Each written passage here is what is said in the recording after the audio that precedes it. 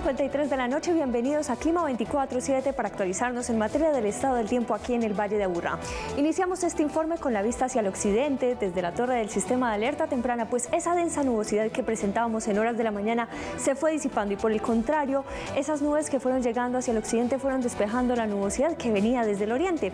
Luego tuvimos un atardecer bastante soleado en la subregión y tuvimos eh, tiempo seco en gran parte de los municipios que conforman la subregión. Revisaremos entonces cuál es el registro de temperatura para este momento. En el norte del Valle de Aburrá tenemos una temperatura de 23 grados centígrados en los diferentes sectores del norte. Nos vamos hacia el occidente. En este momento San Javier tiene 20 grados centígrados, al igual que Alta Vista. Y en el centro de Medellín encontraremos unas temperaturas también de 23 grados, muy similar a las del norte.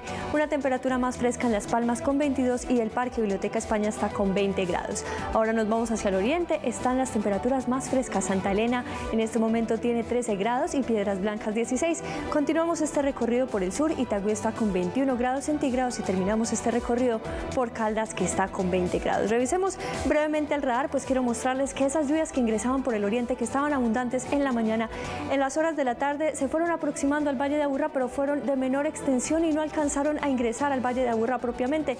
Luego se disiparon antes de ingresar a la subregión, apenas alcanzaron algunos sectores de Río Negro.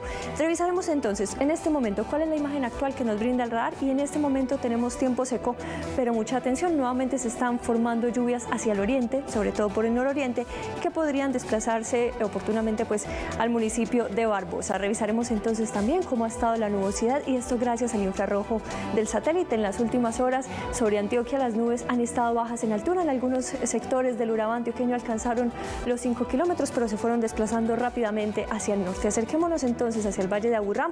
En este momento la subregión tiene unas nubes eh, muy cercanas a la superficie de la Tierra, apenas alcanzan los 2.000 metros de altura. Y revisemos entonces qué nos espera para las próximas horas. De acuerdo con el sistema de alerta temprana, gran parte del Valle de Aburrá tendría una probabilidad de lluvias para esta noche entre el 40 y el 60%, salvo Barbosa y el municipio de Sabaneta en el sur del Valle de Aburrá, que estarían con una probabilidad de lluvias inferior al 30%. Avancemos un poco más. En la semana para mañana, 9 de abril, en las primeras horas del día, por lo pronto se espera una probabilidad de lluvias inferior al 30%. Nosotros les estaremos comentando las novedades si hay algún cambio en el pronóstico. Esta es toda la información por el momento en Clima 24-7. Los invito a compartir sus diferentes fotografías a través de nuestras redes sociales. Que tengan un buen descanso.